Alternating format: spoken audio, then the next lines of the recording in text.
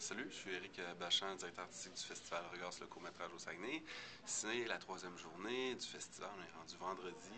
Ça va super bien. Euh, le programmateur est toujours content quand le festival commence. C'est là qu'il commence à moins travailler et moins se soucier à subir les commentaires de tout le monde. Ça se passe bien, beaucoup de monde, euh, beaucoup d'invités, beaucoup de rencontres. Les gens se rencontrent, se parlent.